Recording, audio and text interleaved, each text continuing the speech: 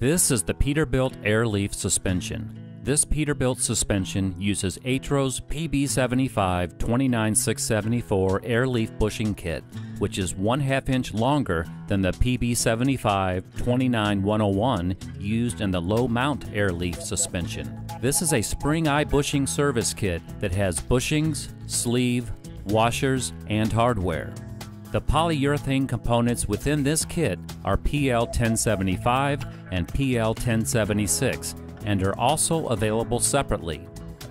This spring eye bushing fits in an eye casting that bolts underneath the spring assembly and is U-bolted into place. Atro provides a recommended installation sequence for both the Airleaf bushing kit and the low mount Airleaf bushing kit. You can find this on our website in the Documents section.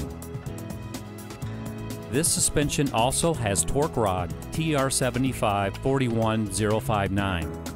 The OE's smaller and rubber bushed rod is replaced by this larger and rebushable rod, which uses the 2 and 3 quarter inch TS 38000 bushings. Atro's rods and bushings are more robust than the OE rod. Heavier rod and bushings provides better load carrying ability and longer life.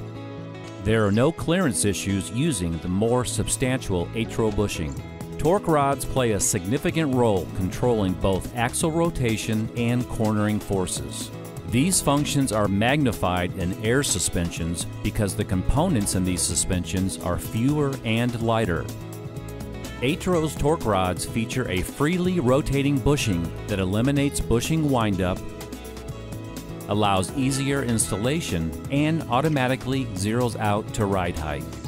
These features, coupled with Atro's heavier rod design, extend the life of the torque rods and other suspension components. Atro offers a complete line of replacement parts for the Peterbilt Airleaf suspension.